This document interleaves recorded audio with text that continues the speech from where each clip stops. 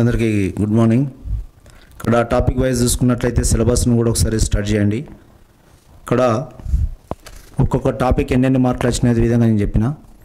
Water technology సంబంధించిన మెటీరియల్ను ఒకసారి ఎయిట్ మార్క్స్ వచ్చినాయి వాటర్ టెక్నాలజీ. మనకు కావాల్సిన ఏం చెప్పినా అరవై మార్కులు చేయగలిగితే జాబ్ వస్తుందని చెప్తున్నా. వాటర్ టెక్నాలజీలో అదేవిధంగా వాటర్ టెక్నాలజీ అండ్ ఇట్స్ కల్ పొల్యూషన్ అండ్ ఇట్స్ కంట్రోల్ ఇవి రెండిట్లో కలిస్తే Now hardness of water, temporary and permanent hardness of units, desalination of brackish water, reverse osmosis, electrodialysis, industrially treatment of water, lime soda ash method, chemical reaction problems, zeolite and ion exchange, boiler troubles, scale and sludge formation, caustic embrittlement and boiler corrosion, internal conditioning methods phosphate carbonate conditioning priming and foaming. Water pollution and control. Types of and sources of water pollution. Impact of human plant animals measurements of water quality. Parameters sampling and analysis for ph ec turbidity tds hardness chloride salinity DO dissolved oxygen BOD COD nitrates phosphates sulfate heavy metals and organic contaminants microbiological analysis mpn indian standard for drinking water is 10500 2012 drinking water treatment coagulation flocculation sedimentation filtration desalination and softening. Wastewater treatment primary primary secondary and advanced treatment method common effluent treatment plants this is our syllabus water technology water pollution its control ఇక్కడ water treatment sources of water rain water sea water river water lake water ఇందులో rain water అనే యాక్చువల్గా pure వాటరే but ఇది coming with అవి వస్తుంటే is a bonding with carbon dioxide sulphur dioxide nitrogen dioxide తోటి bond అయినప్పుడు అవి యాసిడ్ డెన్సిస్ ఫామ్ అవుతాయి ఒకటి పక్క పెట్టండి. యాక్చువల్లీ బేసికల్గా డైరెక్ట్గా వాటర్ ఇస్ ఏ ఏం చెప్పింది ఇక్కడ? It is a purest form of natural water మేఘాల నుంచి డైరెక్ట్ క్లౌడ్ నుంచి వచ్చేటువంటి purest ఫామే but in the middle the combine with industrial ఏరియాలు అయితే. ఓకేనా రైట్ అవుట్ పక్క పెట్టండి. Sea water most impures water salt ఎంత ఉంటుందంటే three point five two point six అంటే చూడండి water containing about three point five dissolve salts is two point six sodium chloride like river water river water sources river water is a a springs and rain water the river water while flowing through the land the number of organic lots of organic matters dissolve in the river వాటర్లు ఉంటాయి. Lake water is a much purer than river water అన్నిటికన్నా highest lake water source water అనేది. ఓకేనా నా?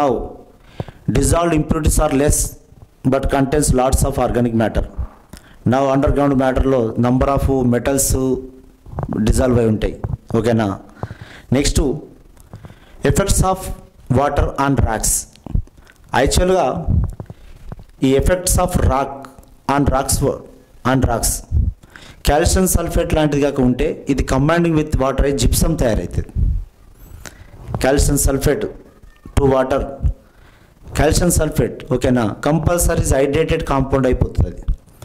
Next here water treatment magnesium silicate x water magnesium silicate యాక్చువల్గా compounds అనేటివి ఇప్పుడు hydrated compounds ఉంటాయి. Is combine with water అయిపోతాయి కదా అవి.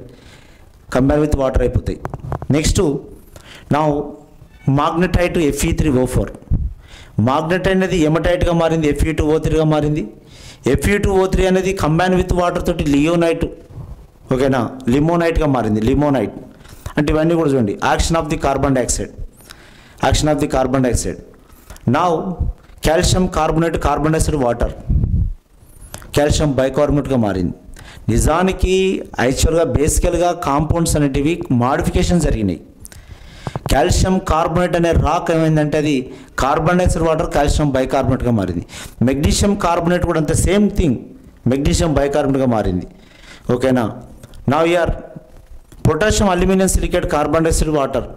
ఓకేనా? అది చూడు అల్యూమినియం ఆక్సైడ్ సిలికాన్ డైఆక్సైడ్తో పాటు carbonate carbonate and silicon dioxide. Okay ఉండని అని.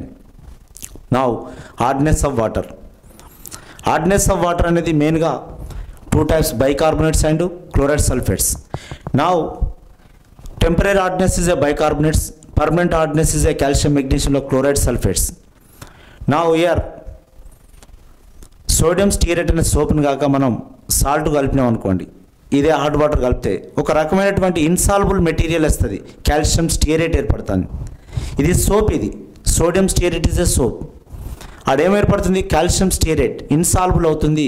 ఒక వాట్ ప్రెసిపిటేషన్ లాంటి కాంపౌండ్ ఏర్పడుతుంది. Good lather is not form good lather is not form because of hot water okay temporary hardness how it is removal heat చేస్తే ఉండే calcium bicarbonate కానీ magnesium bicarbonate heat చేస్తే.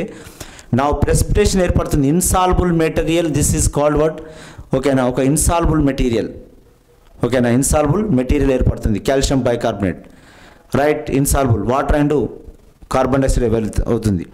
నా temporary hardness one of the process eating process నా units of units అంటే ఏం చేయాలంటే one PPM is equal to the one part of the hardness is equal ten power six part of the part of the water ఈ video మొత్తం చూడండి. ఎట్లుంటుంది sir నేను చెప్తా.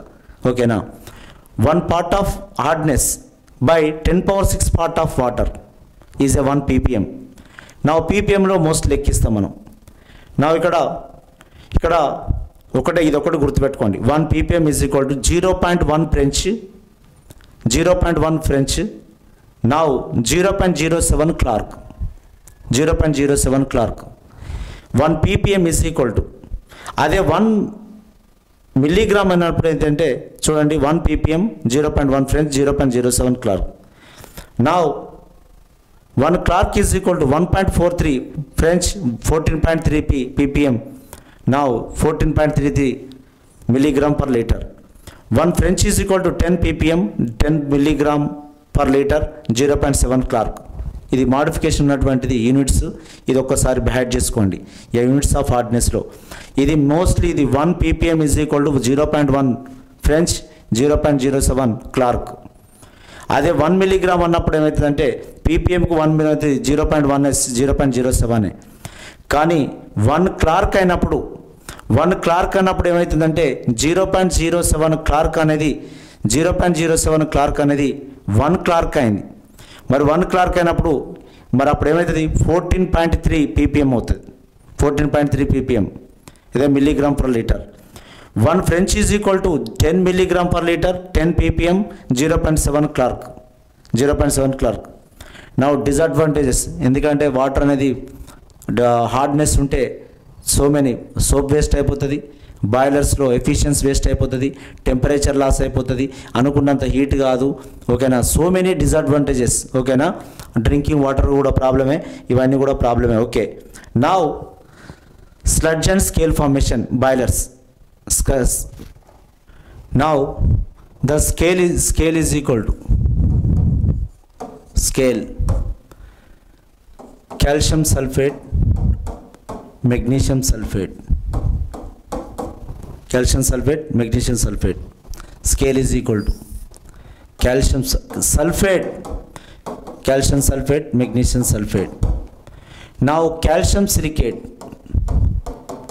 calcium silicate magnesium silicate magnesium silicate now calcium carbonate and magnesium hydroxide మెయిన్గా ఈ వీటిని గమనించండి మీరు this is scale scale scale is a adhering material ఓకేనా ఆ గిన్నె చుట్టూ బాయిలర్ చుట్టూ పట్టేటువంటి ఒక గట్టి hardest material this is one ఓకేనా సల్ఫేట్ సిలికేట్లు ఇవి coming from which compounds how it is prevent that is the most important next sludge next sludge no sludge is a sludge is a mostly magnesium sulphate magnesium carbonate magnesium chloride magnesium chloride.